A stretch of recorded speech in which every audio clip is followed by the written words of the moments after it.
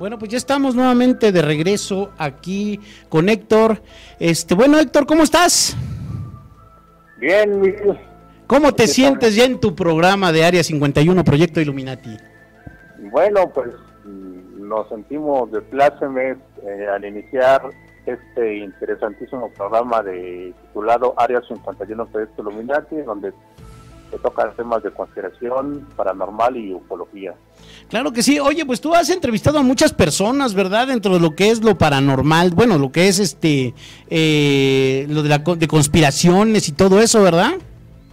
Sí, eh, sí, tuvimos el gusto de, entrevistar hace como unos, que será, tres meses, cuatro meses, a, a un famoso contactado peruano, me imagino que todos los han de conocer, es el señor Sixto Paz. sí, sí, sí.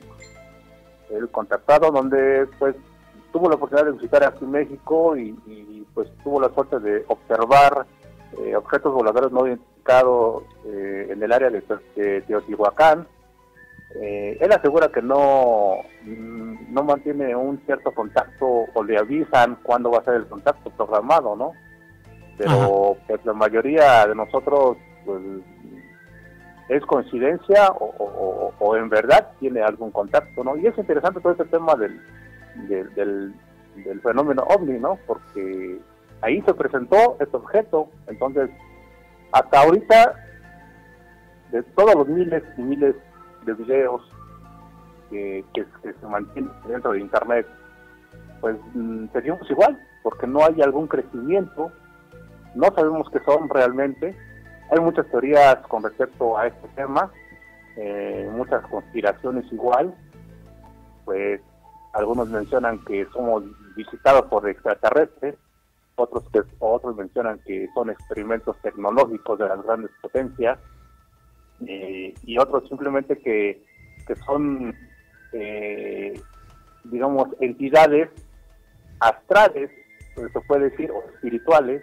sí no sé, o sea, son, son muchos temas, ¿no? en sí, no, no hay alguna, ah, algo concreto que diga, no, pues estos, estos objetos voladores que vemos casi todo el mundo, los cielos, es tal, ¿no? Ajá. Desde 1991, que fue aquí en México el día del eclipse, hasta la fecha no hemos tenido ningún avance, desgraciadamente. Seguimos en las mismas, seguimos viendo lucecitos en los cielos, Claro, hay, que ser objetivos, hay que ver, eh, eh, mejor dicho, ver el tema eh, con una mente más abierta, ¿no? Hay que ver la, trayectoria de satélites, eh, como sonda, pasor espacial, identificar un planeta, una estrella, etcétera. El fenómeno es un objeto volador no identificado, punto. Es un objeto que no puedes identificar, ya. Claro. Muchos investigadores han tenido en su poder eh, ciertas pruebas, entre comillas, o contactados de seres extraterrestres, eh, fotografías de ya naves, eh, ya lo ves el color metálico, inclusive sus poquitos alrededor, etcétera, ¿no? Incluyendo sus sonidos. Tenemos el caso de un, contactado Billy Meyer, que hasta a la fecha, hasta ahorita son las mejores fotografías que hemos que, que el ser humano ha tenido de, de estos, eh, eh, se puede decir, objetos, ¿no? Objetos voladores no, eh, se puede decir, no identificados, aunque él menciona que, que vienen de las Pléyades. Entonces, si te pones a hablar con otro, otras personas contactados, te van a decir casi lo mismo. Unos te van a decir que de la constelación de Orión, de las Pléyades, que son seres astrales, que son intraterrestres, eh, que son experimentos genéticos, etcétera, etcétera, etcétera. Entonces cada, cada personaje tiene su historia y la mayoría tiene un mensaje eh, casi idéntico y todo coincide en el cuidado del ambiente, en el cuidado de la tierra. Claro. Entonces, Oye, sí, sí, te, te, escucho, perdona, te escucho, perdón. Si realmente existen estos seres extraterrestres, y yo la verdad lo dudo porque nunca he visto ningún extraterrestre. El tema del fenómeno extraterrestre no te creo nada, sinceramente, ¿no? Porque nunca lo he visto. Y el tema del fenómeno ovni, ahí sí. ¿Por qué? Porque yo lo he visto, o sea, y, no sé si me crean o no me crean, pero eh, en los campamentos que hemos realizado del grupo de Área 51, eh, en, zonas, por ejemplo, en Huasca de Ocampo, en el estado de Hidalgo, acampamos mucho en, un lugar que se llama eh, Tierra Verde, en, lo que les se llama la Piedra del Tomate. Ahí estamos en, vigilancia toda la noche. Eh, tenemos ciertas personas que se dedican a, tal vez a armar el equipo, en cocinar, en ser, eh, en ser observadores, en grabar. Eh, o sea, cada quien tiene su tarea.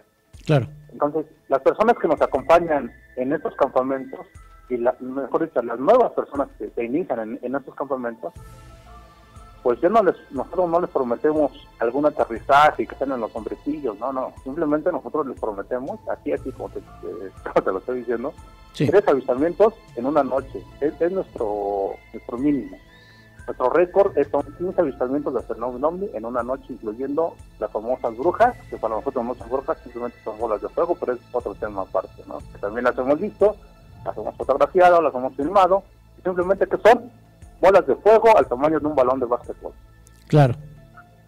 Pero sí, de allá no pasamos. Sí, pues que, puede muchas cosas, eh, existen muchas muchas leyendas, muchas historias, ciertos eh, poblados que son secuestrados, personas, que en, este caso, en donde acampamos en, la, en la piedra del Somate, eh, ahí nos llamó la atención porque ahí aseguran no en este caso asegura una persona que nos encontraron nos encontramos subiendo a, a, esta, a esta zona.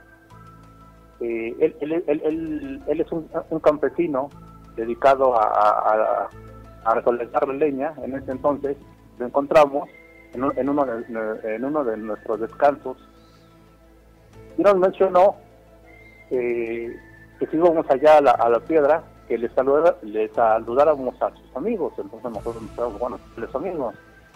Y dice, bueno, pues, él, él, nos contó y él asegura que vio a seres, eh, los famosos grises, la, la cabeza grande, ojos ovalados, eh, color de piel grisácea, que los vio dentro de, de la piedra en ese momento cuando él estaba allá arriba, se abrió un, supuestamente un portal donde él asegura que al inicio comenzó a temblar la tierra y, pues y, él, él, dice que tomó muy muy a broma todo esto porque pensaba que lo estaban asustando, ¿no?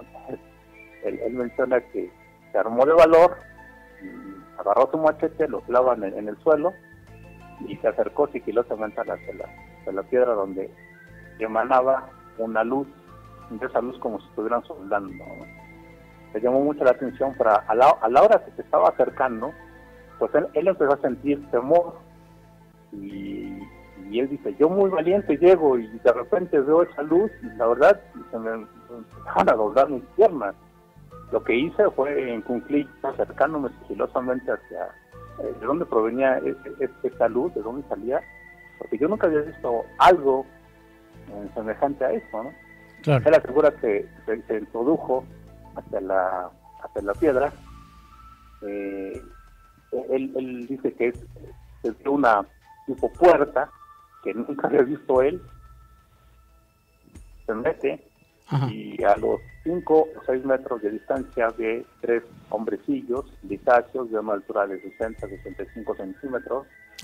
Dos de ellos estaban recolectando algo y uno de ellos estaba parado con una caja metálica recolectando no sé qué tipo de, cosas. ¿no?